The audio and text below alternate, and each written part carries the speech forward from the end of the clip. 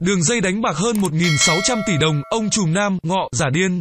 Hoàng Lại Nam tức Nam Ngọ, người điều hành đường dây đánh bạc hơn 1.600 tỷ đồng trên mạng Internet vừa bị công an triệt phá vốn là đối tượng giang hồ cộng cán. Sau khi bị bắt, Nam Ngọ dùng nhiều mưu mẹo để đối phó với lực lượng chức năng.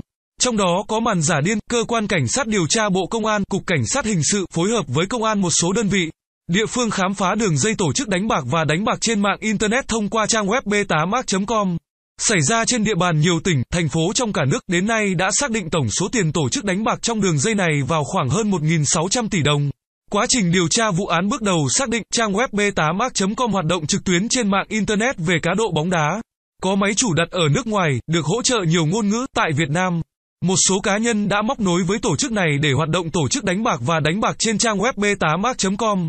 Trong đó, đối tượng Hoàng Lại Nam tức Nam Ngọ, sinh năm 1978, trú tại phường Phúc Lợi, quận Long Biên, thành phố Hà Nội, hoạt động điều hành thông qua quản lý tài khoản cấp tổng đại lý trên trang web b8mac.com. Chân dung giang hồ cộng cán của ông trùm Nam Ngọ, đối tượng Nam Ngọ sinh năm Mậu Ngọ 1978. Lúc đầu trú ở phường Đồng Nhân, quận Hai Bà Trưng, Hà Nội, đối tượng sớm gia nhập vào nhóm lưu manh. Bụi đời ở ô cầu rền, Đồng Nhân, ngay từ trẻ đối tượng này đã có tiền án về hành vi đua xe trái phép. Sau đó thêm tiền án về hành vi tiêu thụ tài sản do người khác phạm tội mà có. Vào năm 2008, do mâu thuẫn trong vụ làm ăn, Nam Ngọ đã ra tay xử một đối tượng giang hồ đất cảng, Hải Phòng là Đào Xuân Nam. Tức Nam Con, sau khi nghiên cứu quy luật của đối phương, Nam Ngọ đã phục tại một khách sạn lớn trên phố Nguyễn Văn Cử, Long Biên. Hà Nội, khi Nam Con xuất hiện, Nam Ngọ đã dùng dao phóng lợn đâm, Nam Con bị thương được đưa đến bệnh viện cấp cứu. Sau đó đối tượng này không trình báo công an mà âm thầm chờ cơ hội trả thù. Khoảng nửa năm sau, trong một lần Nam Ngọ uống rượu tại một quán bar trên phố Phùng Hưng, Hà Nội. Khi đối tượng này lướt khướt bước ra cửa quán thì Nam Con và đàn em hiện dùng súng cun bắn vào ngực.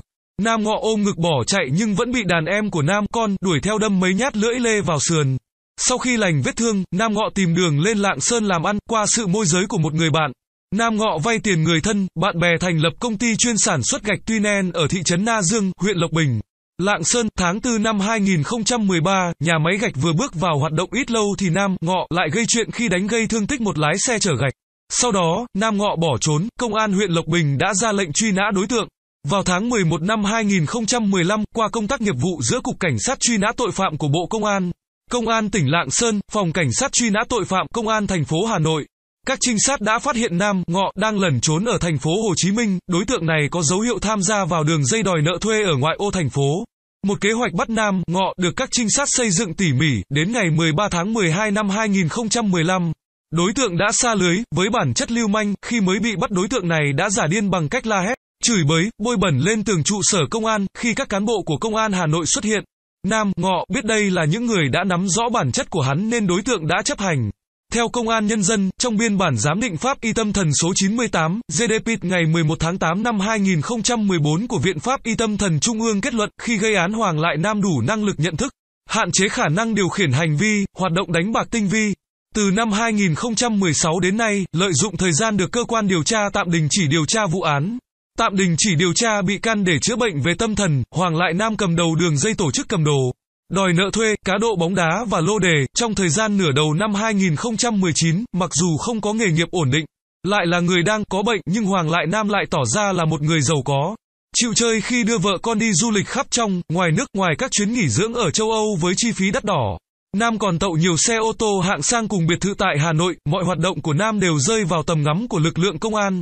Tháng 6 năm 2019, Phòng hướng dẫn điều tra và tội phạm công nghệ cao có yếu tố nước ngoài đã báo cáo lãnh đạo Cục Cảnh sát Hình sự, Bộ Công an, lập chuyên án triệt phá đường dây đánh bạc và tổ chức đánh bạc do Hoàng Lại Nam cầm đầu.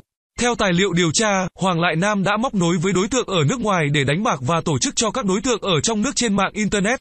Thông qua trang web www.b8ag.com và www.bong88.com, theo đó, Nam cầm đầu hoạt động điều hành thông qua quản lý tài khoản cấp siêu tổng đại lý. Từ đây, đối tượng thực hiện chia nhỏ các tài khoản của mình cho nhiều hệ thống đại lý cấp dưới. Các đại lý cuối cùng chia tạo tài khoản con bạc tham gia đánh bạc, đặt cược cá độ bóng đá tại các trang mạng trên. Cấp siêu tổng đại lý, tổng đại lý, đại lý có thể theo dõi trận kèo, lượng tiền đánh bạc của con bạc cũng như lịch sử truy cập thời gian. Địa chỉ IP truy cập chỉ tính riêng từ tháng 1 đến tháng 7 năm 2019, tổng số tiền đánh bạc của các con bạc trong đường dây của Hoàng Lại Nam đã lên tới con số 1.600 tỷ đồng. Thiếu tá Bùi Thế Ngọc, điều tra viên tham gia trực tiếp vào chuyên án cho biết, Hoàng Lại Nam cùng các đối tượng chính trong đường dây này thường liên lạc đánh bạc qua các phần mềm.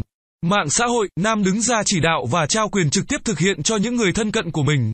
Trong đó có hai đối tượng Nguyễn Thị Ngà, sinh năm 1991, ở với Nam, và một đối tượng khác tên là Tuấn Anh, cả hai đều là em họ của Nam. Hoàng Lại Nam là người rất cảnh giác và trong quá trình đeo bám đối tượng cho thấy, do sở hữu chuỗi các cửa hàng cầm đồ do người khác đứng tên, Nam có thể sử dụng và thay đổi nhiều xe ô tô làm phương tiện đi lại. Thậm chí, nhiều lần đang đi ô tô, đối tượng bất ngờ dừng lại nhảy, xe ôm, hoặc đang điều khiển xe nhưng bất ngờ dừng vào lề đường quan sát. Thấy không có động tĩnh gì mới tiếp tục đi, để tránh bị kiểm soát cũng như các tình huống bất ngờ. Nam chọn sống ở biệt thự đơn lập tại khu vực quận Long Biên, Hà Nội, vì ở đây không phải ai cũng dễ dàng tiếp cận được. Bởi an ninh được kiểm soát tốt để thu hút người chơi, đối tượng cho phép các con bạc có thể thoải mái chơi trước, trả tiền sau và chỉ đạo đàn em chỉ giao dịch bằng tiền mặt qua một số đối tượng trung gian. Không sử dụng tài khoản ngân hàng, điều này gây nhiều khó khăn trong công tác điều tra. Nắm tình hình cũng như củng cố chứng cứ tài liệu, ông trùm Nam ngọ lại giả điên. Thiếu tá Bùi Thế Ngọc cho biết thêm, mặc dù là đơn vị trẻ, mới thành lập một năm, song với quyết tâm của lãnh đạo, cán bộ, chiến sĩ phòng hướng dẫn điều tra và tội phạm công nghệ cao có yếu tố nước ngoài. Cuối tháng 7 năm 2019, đơn vị đã đủ chứng cứ bắt giữ Nam, lần lượt sau đó, đơn vị phối hợp với công an các địa phương bắt giữ các đối tượng khác, thu nhiều tang vật liên quan đến việc tổ chức đánh bạc và đánh bạc của đường dây này. Ngày 9 tháng 8, cơ quan cảnh sát điều tra Bộ Công an đã khởi tố 7 bị can về hành vi tổ chức đánh bạc. Trong đó có Nam, Hiển, Ngà, 6 bị can khác cũng bị khởi tố về hành vi đánh bạc. Tại cơ quan điều tra, Nam Ngọ bắt đầu dở bài bẩn bằng việc giả điên, la hét, chửi bới ầm ĩ, hỏi gì cũng không biết, không nhớ. Tuy nhiên, các đối tượng tiếp tục dở màn trí phèo bằng cách bôi đầy chất thải lên người. Tuy nhiên, các trinh sát đã thuộc lòng bài của Nam, theo tài liệu của các trinh sát. Nam tổ chức đánh bạc với hình thức người chơi đặt tiền từ 1 triệu đồng đến cả trăm triệu đồng cho mỗi kèo của trận bóng đá ở các giải đấu trên thế giới. Trong số các đối tượng tham gia đánh bạc trong đường dây này phải kể đến Nguyễn Thanh Sơn, sinh năm 1965, trú tại phường Đông Hải, quận Lê Trân, thành phố Hải Phòng và Trần Anh Minh, sinh năm 1970, ở phường 7, thành phố Vũng Tàu, tỉnh Bà Rịa Vũng Tàu là những đối tượng đánh bạc có những kèo của một trận đấu với số tiền lên tới cả trăm triệu đồng. Các mảng công việc trong đường dây được Nam phân công rất rõ ràng, theo đó, Nguyễn Thị Thanh Ngà được Nam hoàn toàn tin tưởng giao cho phụ trách về tài chính. Cứ thứ hai hoặc thứ ba hàng tuần, nga sẽ thực hiện báo cáo sổ sách số tiền thắng thua đại lý, để chuyển tiền gốc trả cho nhà cái ở nước ngoài và giữ lại khoản tranh lệch. Nam cho nga đứng tên căn nhà mặt phố trị giá hàng chục tỷ đồng, xe ô tô hạng sang và tiền chu cấp hàng tháng cùng một số bất động sản khác. Đặng Văn Hiển, sinh năm 1981, trú tại phường Bạch Đằng, quận Hai Bà Trưng, là bạn thân và cũng là người phụ trách toàn bộ mảng kỹ thuật cũng được Nam giao cho cầm cái một tài khoản tổng và hưởng lợi nhuận từ tài khoản này. Cơ quan điều tra cũng xác định có hàng chục tổng đại lý, đại lý nhỏ và chỉ tính riêng tài khoản do Hoàng Lại Nam trực tiếp tổ chức đã có khoảng 300 khách ruột. Hiện cơ quan cảnh sát điều tra Bộ Công an đang tiếp tục củng cố hồ sơ, làm rõ hành vi của những người khác có liên quan đến đường dây cá độ bóng đá này. Cảm ơn bạn đã lắng nghe. Chúc các bạn có một ngày làm việc thật vui vẻ. Hãy bấm nút like và để lại bình luận phía bên dưới của video. Đừng quên đăng ký và nhấn nút chuông bên cạnh để nhận được những video mới nhất.